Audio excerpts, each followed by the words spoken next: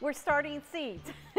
we're going big because we have eight in each row and we have, let's see, one, two, three, four, five, six, seven, eight, nine, ten. Remember that, that'll help you in number sense. 11, 12, 13, 14, 15, 16 rows. So eight in each row and 16 of them. And we're planting all of them because we're going to go big and put in some hydroponic systems in schools. We're going to help them out because the toughest, most challenging part of growing hydroponically is starting the seeds. Here's a way that's been most successful. Rockwool cubes. When you're growing in this large of a tray, it's a little bit difficult to use a whole cube. So you take and you cut one in half. I have placed all of these halves of cubes into pH balanced water and soak them overnight. I now have, we're going to have five different kinds of seeds that we will be planting. Arugula, start compact basil that will grow short and out instead of tall and up. we're going to be growing starfighter lettuce. We'll be growing Salanova green butter and Salanova red butter. Here's what you do. Before you start, make sure that you have a label for every seed you will be starting. Every Rockwool cube that you'll be starting has a plant label so you know what you're growing when you place it into your hydroponic system. I have all those ready.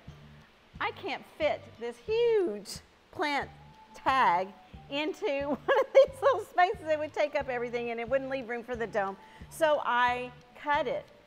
I cut it so that I would have plenty of labels out of one.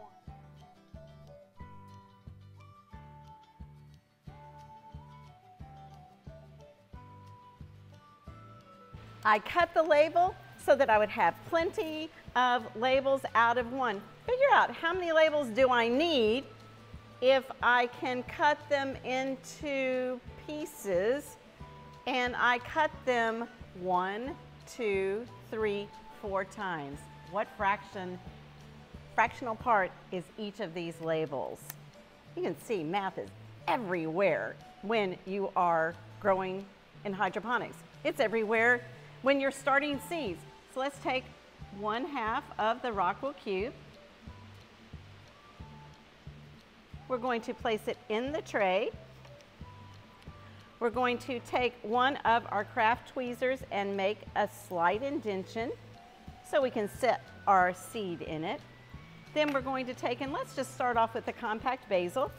And I'm going to place a basil tag into the Rockwool cube. Now I'm going to take the seeds. These seeds are called pelleted seeds because these seeds, lettuce seeds and arugula and basil, the seeds are very tiny and the seeds can be easily lost or more difficult to manipulate one at a time into a grow into the growing media. So we use pelleted seeds for success. I use the tweezers. I'm placing it in the hole.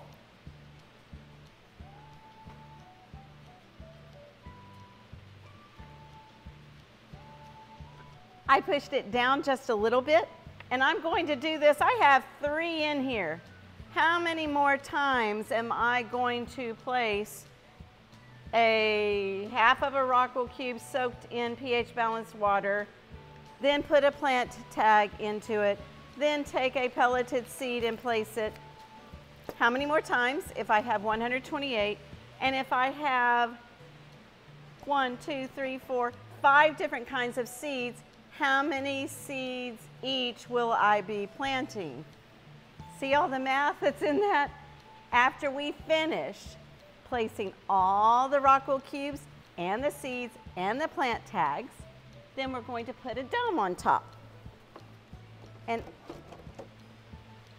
these we want to germinate and propagate and begin to grow so that we can place them into a hydroponic system and start to grow basil and lettuce and arugula and basically a salad.